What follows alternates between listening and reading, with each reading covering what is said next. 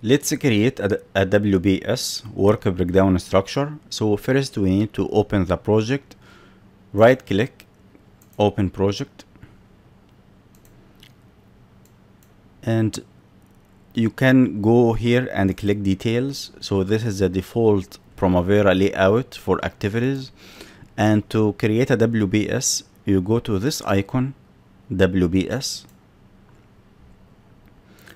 And for our schedule, let's have, we have the substructure and we have also superstructure, which is the concrete work, then finishes. So let's create one by one.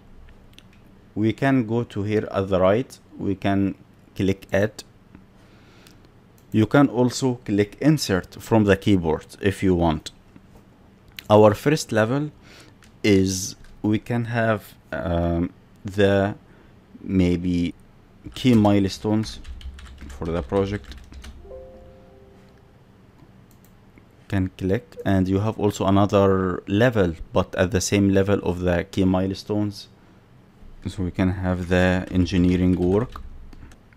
I will click insert from the keyboard to add another level. Move left. Construction work and this is just an example. So under the construction work we can have substructure and superstructure as well. So we we this is the right level now. So under construction work i have sub level which is the substructure.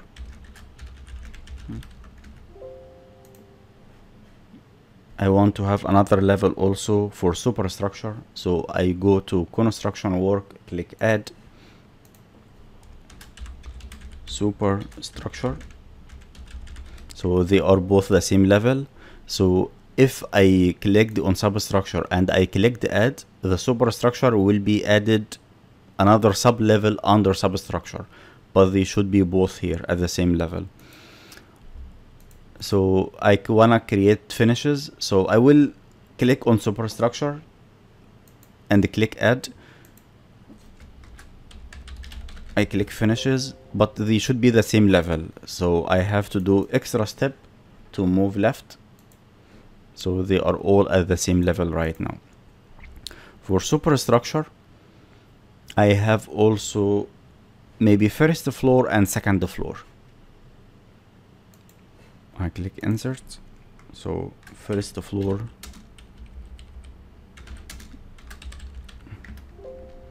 and also second floor.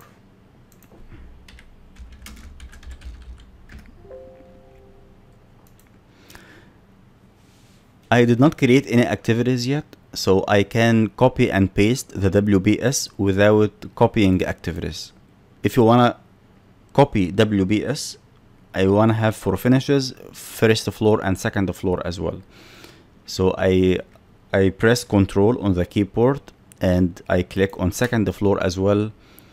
Right click copy go on finishes right click and paste. So I I will you know check everything. I do not have any information here. I did not add activities as well. So that's why activities is not shown here. But if I have activities for this specific WBS when I copy it I will have the option. Do you want to copy the activities or without the activities. I do not have activities so instead of creating everything all over again especially when you are creating larger projects you wanna have more shortcuts to make your process faster I click OK. And this is a plus sign so when I click on it it will be shown here I can collapse for example I want to collapse at this level or on on project level.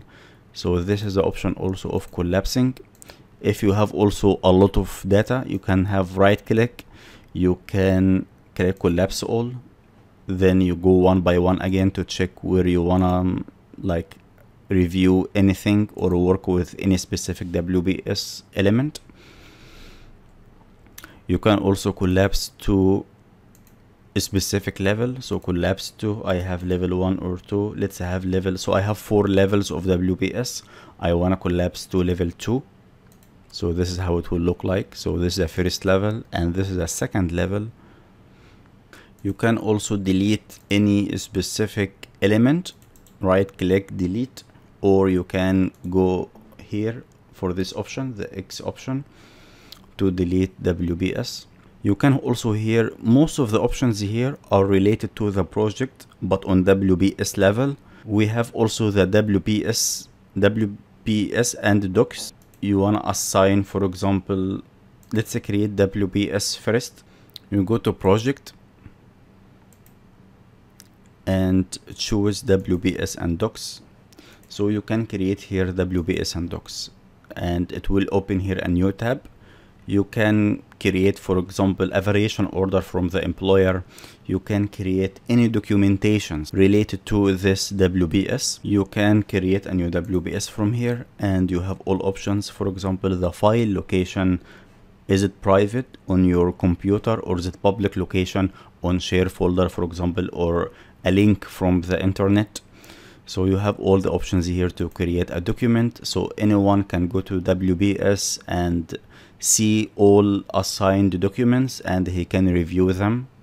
You can go back to the WBS we were dealing with here or you can go anytime by clicking on this icon WBS. This is for the earned value calculation. So we will come back to that later when we explain the earned value. And you have also here the Gantt chart. We do not have any activities here. You can see from the columns total activities zero. But when we have more activities with more duration, the overall or the summary of the WBS duration start and finish will appear here.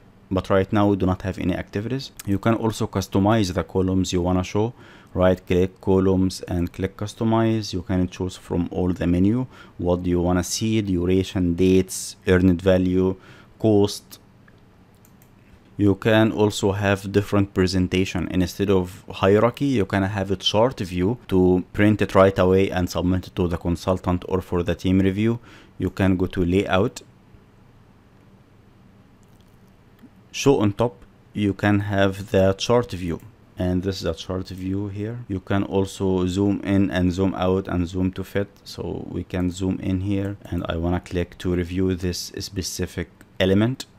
And after I finish I right click zoom to best fit. You can go back to your uh, you can also arrange the children as we did for the EPS and the OBS you can maybe have this node for example we explained it before in a vertical way.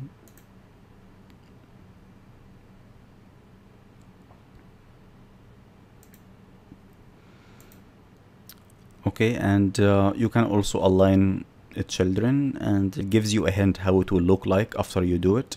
So this is the center by default. And also you can customize the colors and all these formatting options so this is for the WBS creation and some of the features inside the WBS we will go in the next lesson. We will start creating our first activity